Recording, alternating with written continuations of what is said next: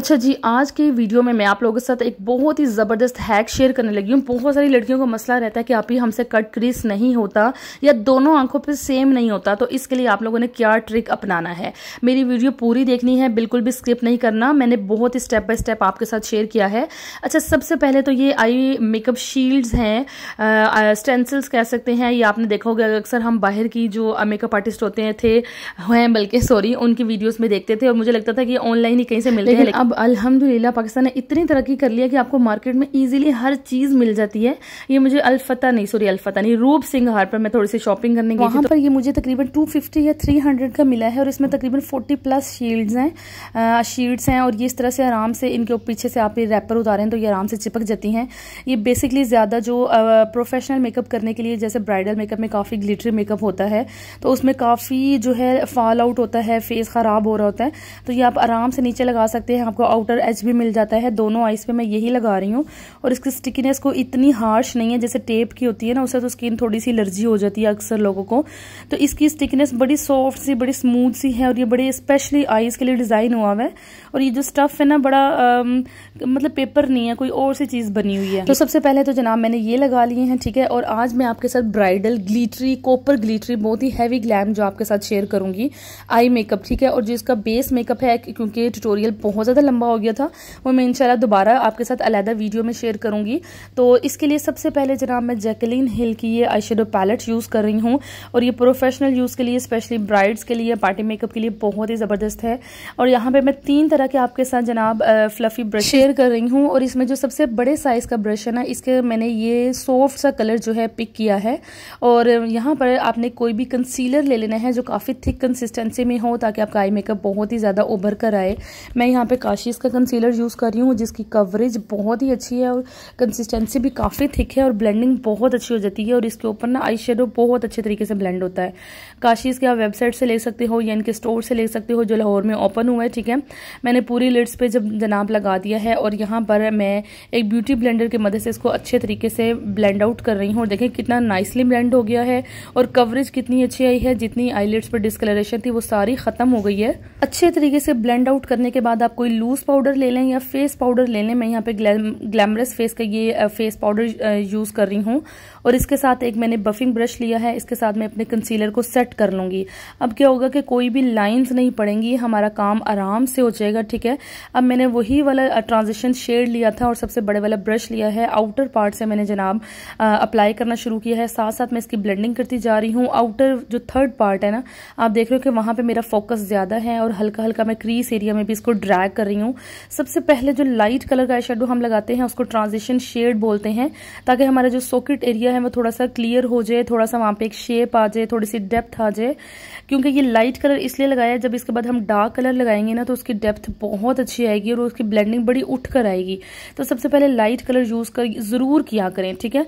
क्योंकि लाइट से डार्क की तरफ़ जाना आपको थोड़ा ईजी रहेगा, लेकिन अगर आप डार्क से लाइट की तरफ़ जाते हो ना तो आपका ब्लेंडिंग कहीं ज़्यादा खराब ना हो जाए ज़्यादा ऊपर ना चली जाए, वो मसला रहता है, ठीक है? ये थोड़ा सा अगर आप प्रो हो जाओ, फिर आप डार्क से लाइट की तरफ़ भी जा सकते हो। अभी देखे मैंने सबसे पहले लाइट अप्लाई किया था उसके बाद मैंने डार्क कलर का जो आई लिया है, वो सेम उसी जगह पे रख कर लगा रही हूँ। लेकिन आपने कोशिश करनी है उसको थोड़ा सा कम लेना है और थोड़ा सा नीचे की तरफ़ रखना है कि जो हमने नीचे वाला पहले आई लगाया हुआ था, उसके साथ मिलकर इसकी ब्लेंडिंग इसकी मर्जिंग बहुत अच्छे तरीके से हो जाए, ठीक है? और कोई टेंशन नहीं लेने की क्योंकि आउटर साइड पे हमारी शील्ड लगी हुई है आपको थोड़ी सी मेसी लुक लग रही होगी लेकिन आपने ब्रश को बस अन्य वाह चलाते जाना है कोई टेंशन नहीं है। अच्छा जी अब बहुत ही ज़बरदस्त हैक की तरफ़ आ जाते हैं ये आई शेडो जो हैं ये मेरे पास एमरेज का है ठीक है? आप किसी लोकल भी ले, ले सकते हैं मार्केट में सौ डेढ़ सौ का आराम से मिल जाता है। यहाँ पे जो कट क्रीज करने के लिए कंसीलर आप यूज़ किया करो ना वो क्रीम बेस्ड थिक कंसीलर नहीं करना। आपने लिक्विड हल्का जिसकी कंसिस्टेंसी लाइट हो क्योंकि हमने इस पर बहुत ज़्यादा लेयरिंग नहीं करनी नहीं ऑलरेडी हमने कंसीलर लगाया हुआ है, उसके ऊपर फिर कंसीलर लगाएँगे थिक वाला तो वो बहुत एंड पे ना ऐसे केकी सी लुक आने लग जाती है। तो आपने यहाँ पे मैंने लाइट वेट देखे लिया था और उसको मैंने ऐसे स्टैम्प कर दिया है और दोनों इस पर एकदम बैलेंस रहेगा, आपको एक मार्जिन लाइन मिल गई है। अब जनाब आपने एक फ्लैट ब्रश लेना है और हल्का सा कंसीलर और लेकर अपनी क्रीज को भी नीट कर लेना है और अपनी पूरी लिड पे लगा देना है। अब देखिए आईज जो है आई स्पेस कितनी बड़ी बड़ी और कितनी खूबसूरत लग रही है। अगर आपकी आँखें छोटी हैं हुडिड हैं हुड नीचे गिरा हुआ है, आपकी नेचुरल जो है कट क्रीज लाइन नहीं है तो आप इस तरह से कट क्रीज ज़रूर बनाना। आपकी आँखों पे बहुत प्यारा लगेगा और ब्राइडल मेकअप में ये बहुत ही खूबसूरत लगता है। अच्छा जी, यहाँ पर मैं मेटेलिक शेड अप्लाई करूँगी। आउटर पार्ट में मैंने हल्की सी ब्लेंडिंग थोड़ी सी और कर दी थी, ठीक है? दोबारा जैकलिन हिल की पैलेट में से ही ये मेटेलिक शेड है कॉपर से कलर का। इसको मैंने आई शेडो एप्लीकेटर लिया है। यहाँ पे आप फिंगर भी यूज़ तो कर सकते हो, लेकिन कोई टेंशन नहीं है, लेकिन इस तरह के आई शेडो एप्लीकेटर मार्केट में ईजिली मिल जाते हैं। आपका ज़रा प्रोफेशनलिज्म दिखना चाहिए, ठीक है? क्योंकि हमने क्रीज कट की हुई है तो ज़रा नीट सा लुक रहेगा। दोनों आइस पे मैं, पहले मैं ये मेटेलिक शेड को जो अच्छे तरीके से अप्लाई कर दूँगी। और एक और बात बताती चलूँ कि क्या फ़ायदा होगा कि लिक्विड जो हमने कंसीलर लगाया था ना, उसको पाउडर से नहीं सेट करना। उस पर डायरेक्ट जब हम मेटेलिक शेड लगाएँगे तो वो अच्छे से स्टक हो जाएगा। आप देखना कि वो कितना खूबसूरत लगेगा।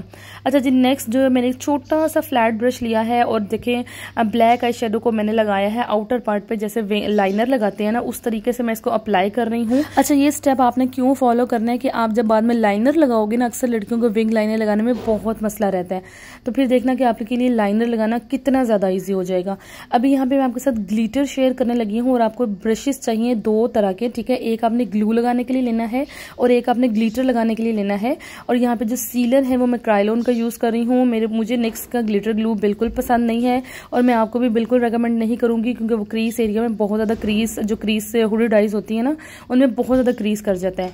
इसके अलावा जो मैं ग्लीटर्स हैं, बहुत ही खूबसूरत या रिवाज का यूज़ कर रही हूँ कॉपर ग्लीटरी आप इसकी शाइन देखना जब मैं इसको लगाऊँगी।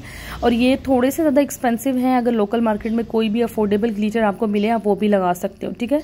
यहाँ पे क्राइलोन का सीलर मैंने ब्रशेज देखे, मैंने काशीज के लिए थे। दोनों फ्लैट और थोड़े से फ्लफी फ्लफी हैं। फ्लैट हैं, लेकिन आगे से ब्रिसल्स इनके फ्लफी हैं। बिल्कुल एकदम फ्लैट ब्रश आपने नहीं लेना, ठीक है? एक ब्रश के साथ पहले मैं सीलर को ट्रांसफ़र करूँगी पूरी लिड पर। और इसके बाद एक आँख पे उसको लगा, लगाते ही मैं फ़ौरन ऊपर ग्लिटर लगा दूँगी। आपने क्लाइंट की आँख हर सूरत बंद रखवानी है, क्योंकि सीलर थोड़ा सा केमिकली है आँख में जा भी सकता है। इसकी स्मेल थोड़ी सी इसकी हवा टाइप भी चली जाती है। मतलब ना, जैसे कोई करीब से चीज़, क्योंकि आँख आपको पता है बहुत ही सेंसिटिव होती है। तो आपने आईज बिल्कुल क्लोज रखवानी है और उसके ऊपर ये देखे मैंने ग्लिटर लगा दिया है। इतना ओ गुड खूबसूरत लग रहा था ना। मेरे कैमरे ने बिल्कुल भी जस्टिफाई नहीं किया। मेरा कैमरा एक्चुअली बहुत ज़्यादा दूर पड़ा हुआ था और मैंने जब क्रॉप किया तो सारी वीडियो क्वालिटी ख़राब हो गई है। उसके लिए वेरी सॉरी इंशाल्लाह मैं काम कर रही हूँ कि मैं अच्छे तरीके से और अच्छे वाली जो है वीडियोस शूट करके आपके साथ शेयर कर पाऊँ। लेकिन ये ग्लीटर्स बहुत रियल में ज़्यादा प्यारे लग रहे थे। अच्छा यहाँ पर जनाब मैंने इनर कॉर्नर को जो है हाईलाइट कर लिया है। अच्छा जी क्राइलोन का सेम सीलर यूज़ करते हुए मैं क्राइलोन का ही जेल केक लाइनर जो है जेल लाइनर नहीं है सॉरी ये केक लाइनर है। इसमें इसको मिक्सिंग करूँगी। इससे ये वाटर प्रूफ बन जाएगा। अगर आप पानी यूज़ करते हो तो फिर बिल्कुल भी वाटर प्रूफ नहीं बनता और वो हट जाएगा। हल, हल्का सा भी रोने से या हाथ लगाने से ना वो फैलेगा। तो आप सीलर ज़रूर यूज़ कीजिएगा। अब देखें लाइनर मैं कैसे लगा रही हूँ कि मेरे पास ऑलरेडी लाइन थी। मैंने एक बिल्कुल लाइन स्टेच स्नैच ऊपर की तरफ़ अप्लाई किया है और बाद में इसको मैं वापस लिड की तरफ़ अच्छे से मैच कर दूँगी और मैं दोनों आइज़ पर आपको बनाकर यहाँ पे दिखा रही हूँ ठीक है? मैं इनशाला एक दिन किसी और वीडियो में बिल्कुल करीब करके आपको ईजी मैथड से भी लाइनर लगाना सिखा दूँगी। आपको बस थोड़ी सी प्रैक्टिस करने की ज़रूरत है ठीक है?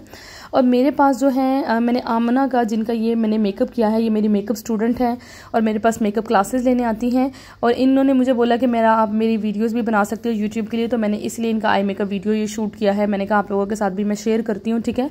अगर आप लोगों को भी एडवांस किस्म का मेकअप प्रोफेशनल कोर्स मेरे पास वन मंथ का अवेलेबल है, आपने करना हो तो आप मुझे ज्वाइन कर सकते हो, ठीक है?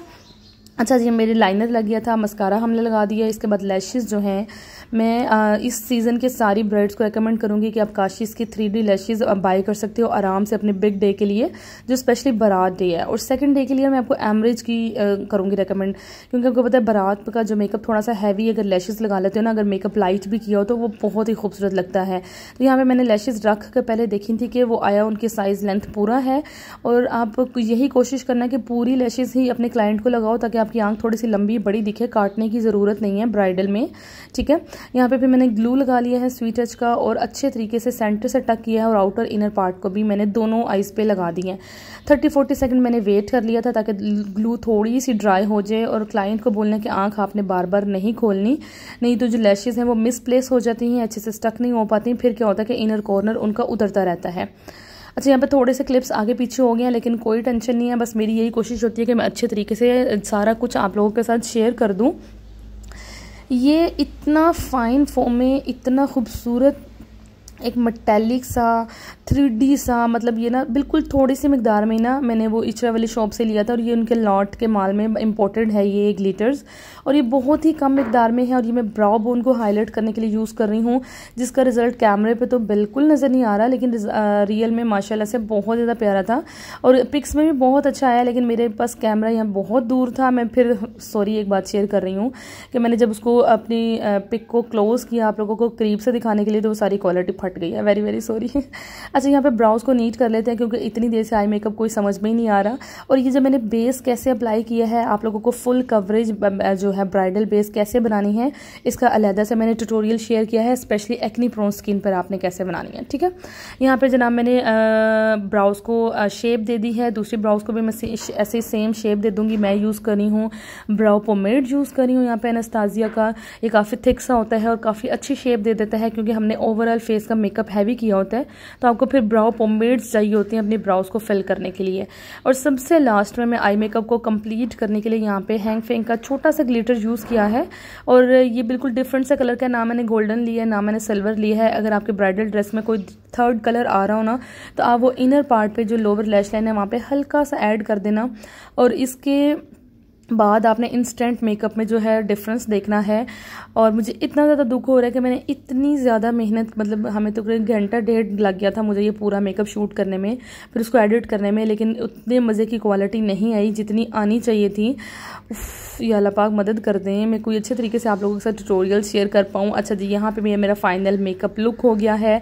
बाकी का जो बेस मेकअप है, मैंने लिपस्टिक कैसे अप्लाई किया है नोज़ कंट्रोलिंग कैसे किया है, ये सारा मैं एक अलहदर ट्यूटोरियल में देखें, आपके साथ शेयर करूँगी। आप लोगों को अगर मेरे जो मेकअप के ट्यूटोरियल्स के नोटिफिकेशन ना मिला करें ना, मेरा मेकअप चैनल ओपन करो, ठीक है जैनब नुमान वहाँ पर सेकेंड ऑप्शन में वीडियोज़ में जाओगे ना तो लाइन वाइज आपको मेरी सारी वीडियोज़ मिल जाएँगी, ठीक है? इसके अलावा व्लॉग्स आप मुझे ज़रूर सब्सक्राइब कर लेना मैं बिहाइंड द सीन्स और अपना डेली बिज़ी रूटीन आप लोगों के साथ, और इसके अलावा काफ़ी हेल्पफुल जो अपने स्किन केयर मेकअप प्रोडक्ट्स काफ़ी कुछ आप लोगों के साथ शेयर करती रहती हूँ। तो ये था मेरा guys makeup tutorial eye makeup tutorial hopes आप लोगों को बहुत ज़्यादा हेल्पफुल रहा होगा। कमेंट करके ज़रूर मुझे बताइएगा, ठीक है? कमेंट ज़रूर ज़रूर किया करें। वॉइस ओवर करते करते मेरा तो गला ही सूख गया है। सॉरी मैंने पानी भी नहीं पिया, मैं सुबह उठते ही सबसे पहले वॉइस ओवर कर रही हूँ बच्चों को स्कूल भेजने के बाद। तो ये लैशेज भी देखें, कितनी नेचुरल और कितनी खूबसूरत लग रही हैं, कितनी इससे आई मेकअप जो है ना, और भी ज़्यादा अट्रैक्टिव लगना स्टार्ट हो जाता है। तो आप लोगों को अगर ब्राइडल पार्टी मेकअप मेरे पास बुकिंग करवानी हो तो उसका नंबर मैं नीचे डिस्क्रिप्शन बॉक्स में मैंशन कर दूँगी। अपना ढेर सारा ख्याल रखिएगा, मुझे दुआ में याद रखेगा अल्लाह हाफिज़ बबी